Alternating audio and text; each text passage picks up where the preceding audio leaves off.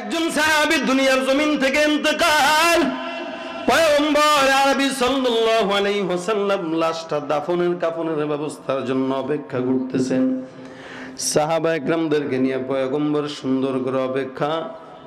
নিচের দিকে চোখ বন্ধ করে কিছুক্ষণ পয়গম্বর ধ্যানে ছিলেন।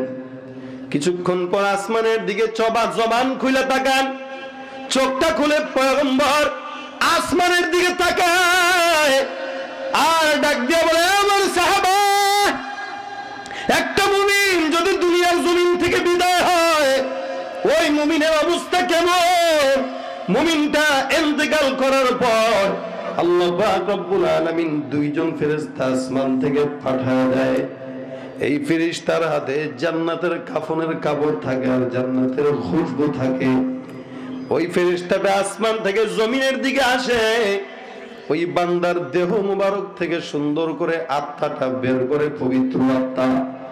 রসুল বলেন, কোন বান্দা যদি নেককার হয়, কোন বান্দা যদি দিনদার হয়, যার দিলের ভিতরে আল্লাহর প্রেম, যার দিলের ভিতরে মহাম্মদের প্রেম, যার দিলের ভিতরে মালিকের প্রেম ছাড়া অন্য কারও প্রেম নাই রসুল বলেন, ওই ব্যক্তিটার আত্মাটা তার দিল থেকে বের করা হবে যেভাবে একটা মগের মোটকা খোলার পর পানি ঢাললে যেভাবে আরাম হয়, ওই বান্দাটার দেহ থেকে আত্মাটাও এরকম ভাবে আরামদায়ক ভাবে বের হয়ে যাবে।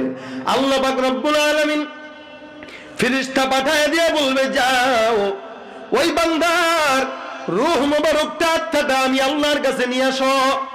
ফিরিস্তারা সুন্দর করে রূহ মোবারকটা তার দেহ থেকে বের করে প্রথম আসমানে নিয়ে যায়। ওই জায়গায় যাওয়ার পর ফিরিস্তা সালাম দিবে, আসসালামু আলাইকুম। এই পবিত্র আত্মাটাকে ফেরেস্তা জবাব দিবে, অমুক এলাকার অমুকের সন্তান, অমুকের বাবা এরকম দিনদার, যার একটা রাতও যায় নাই আল্লাহর জিকির ছাড়া। একটা দিনও যায় নাই, মালিকের প্রেম ছাড়া। তুমি তো মনে করছ মাওলার জিকির করার দ্বারা মনে হয় সে পাগল হয়ে গেছে। আসলে ওই বান্দাটা যখন জিকির করে আর রাস্তা দিয়ে হেঁটে যায়, তুমি দুনিয়ার বান্দা নালায়ক হয়ে তুমি তারে পাগল বলতে পারো। আসমানের মালিক বলে সে দুনিয়ার পাগল নয়, সে বলো আমি আল্লাহর পাগল। এই বান্দাটা সারাদিন কেবল জিকির করেছে আল্লাহর। এই বান্দার ঠোঁটে আল্লাহ ছাড়া অন্য কারও জিকির উঠে নাই। বান্দা তো মালিকের প্রেমের জিকির আদায় করে কলবটাকে পরিপূর্ণ পবিত্র বানাইল।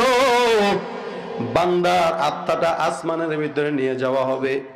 সুন্দর করে প্রথম আসমানের গেট খোলা হয়ে যাবে।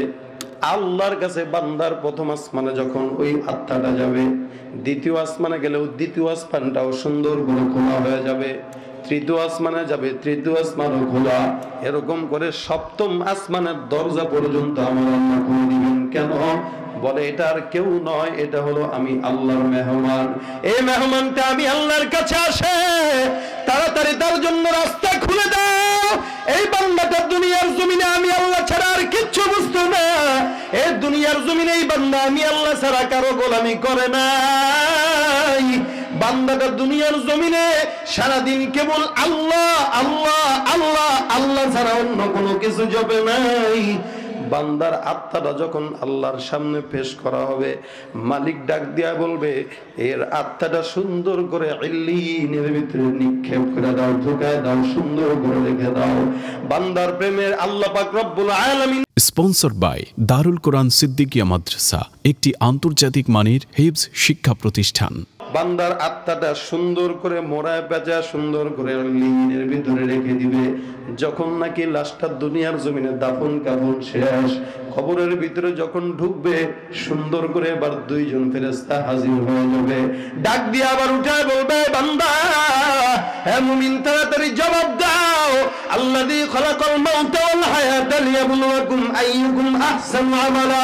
নবীর দুনিয়ার জিন্দগিটা পরীক্ষার হল। এই জায়গায় ভালো করলে ওই জায়গাটা ভালো, এই জায়গা খারাপ করলে ওই জায়গাটা খারাপ। মনে করছেন, যুবক ভাই, দুনিয়ার জিন্দগি থেকে যাওয়া লাগবে না।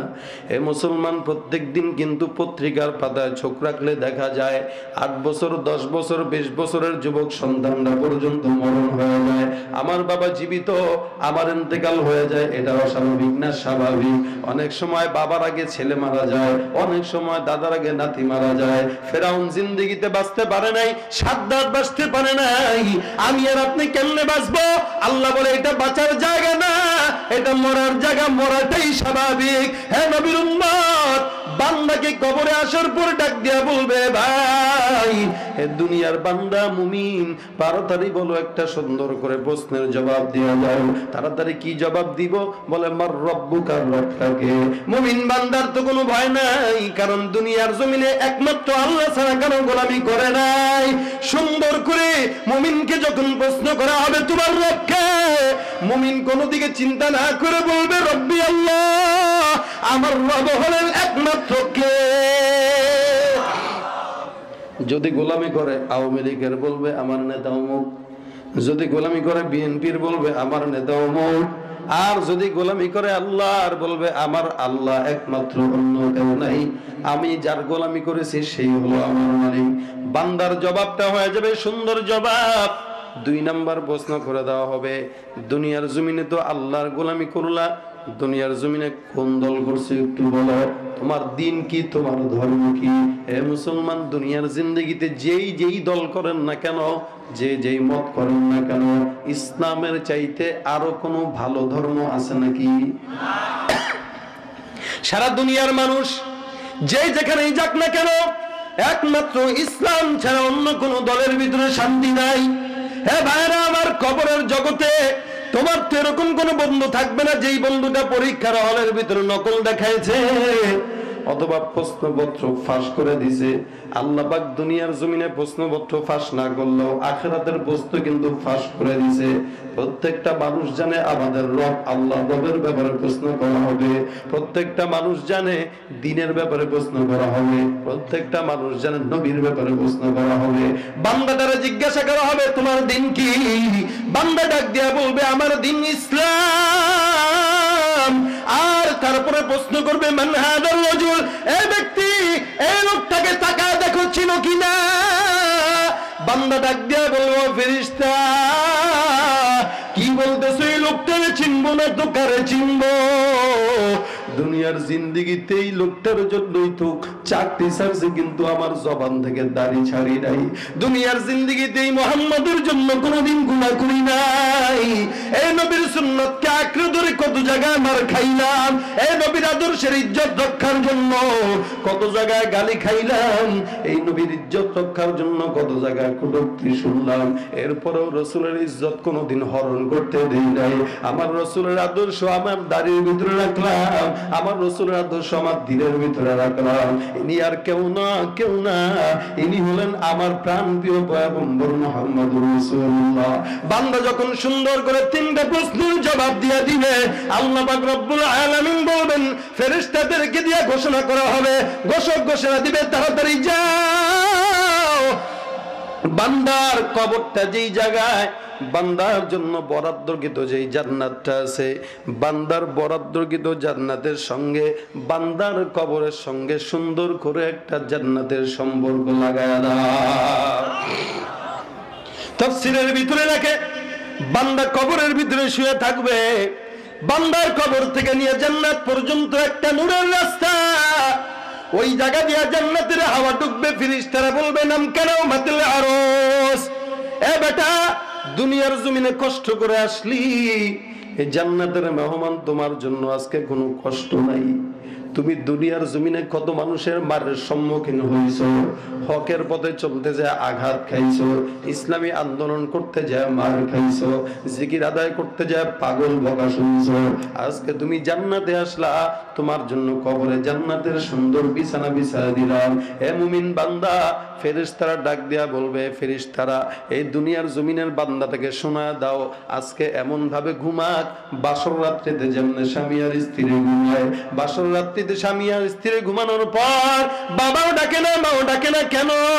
বলে বান্দাটা আজকে যেই রাত্রিটা পাইলো রাত্রি আর কোনোদিন পাবে না। বান্দা যেই রাত্রিটা পাইলো রাত্রি তার জীবনে আর কোনোদিন আসবে না। ফজর, কাজা যাক, কোনো সমস্যা নাই। তাকে কেউ ডিস্টার্ব করো না, তাকে কেউ ডাইকো না। কারণ তার জন্য রাতটা একটা সুন্দর রাত। এই জন্য কবি সুন্দর করে বলছেন চোখের ভিতরে যত ঘুম আছে সব দূর হয়ে যাও। রাত্রি যত বড় হওয়ার তত বড় হয়ে যায়। যদিও রাত্রি হয় আট ঘণ্টা রাত, কিন্তু বান্দার কাছে মনে হয় আট মিনিটে রাতটা শেষ হয়ে গেছে। এমন দুনিয়ার জিন্দগিতে বাসর রাতের আরাম, এরকম আরাম দুনিয়ার জিন্দগিতে আর কোন রাতের নাই। হ্যাঁ নবীর উম্মাদ আল্লাহ পাক রব্বুল আলামিন ঘোষণা করে দিয়ে বলবে, নাম কেন মাদিলা রোজ? তুমি বাসর রাত্রিতে স্বামী আর স্ত্রী জন্য ঘুমায়। আজকে বান্দা জান্নাতের ভিতরে তুমি জান্নাতের মেহমান হয়ে খবরে চলে আসছো। তুমিও এমন ভাবে আরামে ঘুমাও। জান্নাতের আবহাওয়া তোমার কবরের ভিতরে ঢুকলো। এমন নিশ্চিন্তে ঘুমায় যাও। কেমন পর্যন্ত জান্নাতে যাওয়ার আগ পর্যন্ত কোনো ফিরিস্তা তোমার ডিস্টার্ব করবে না। বান্দা এই জায়গায় ঘুমাবে, ওই জায়গায় জান্নাতের সঙ্গে সম্পর্ক তৈয়ার করা রাস্তা। রসুল বলেন, এই ব্যক্তিটা তো জান্নাতি হয়ে গেল। এখন যেই ব্যক্তিটা বৎকার, ওর অবস্থা কি? আল্লাহর হাবিব বলেন, বৎকার যদি হয়, বৎকারের জন্য এমন কষ্টকর হবে। এ মুসলমান ভালো করে খেল দিয়া, দিল দিয়া শুনবেন। রসুল বলেন, একটা বৎকারের জানটা এমন কষ্ট দিয়া নেওয়া হয়, একটা জ্যান্ত ছাগলের চামড়াটা জ্যান্ত ছিলে ফেললে যতটা কষ্ট হয় ওই বৎকারের আগুন বৎকারের যান যখন কবজ করা হয়, তার চাইতেও বেশি কষ্ট দিয়ে তার যান কবজ করা হয়। বৎকারটা বুঝে না যে সে বৎকার, এ দুনিয়ার জমিনটাকেই মনে করছে, দুনিয়াই সব। কিন্তু দুনিয়ার জিন্দিগি সব না, আখেরাতেও একটা জিন্দগি আছে, এটা তার ধারণার ভিতরেও নাই। বান্দার যখন মত চলে আসবে, আসমান থেকে ফেরেস্তা নাজিল হয়ে যায় জাহান নামের আগুনের কাফনের কাপড় নিয়া জাহান নামের দুর্গন্ধ নিয়া। বান্দার সামনে আইসা বান্দার খপ করে বান্দার দেহটাকে ধৈরা বান্দার আত্মাটাকে বের করে টান দেয় আসমানের ভিতরে নিয়ে দেবে আল্লাহ পাক বলেন, লা তুফাত্তাহু লাহুম আবওয়াবুস সামা। বান্দার জন্য আমি আল্লাহর আরশের দরজা খোলা নাই। বান্দা গুনাহগার বান্দা তার জন্য তার জন্য আমার রহমত না।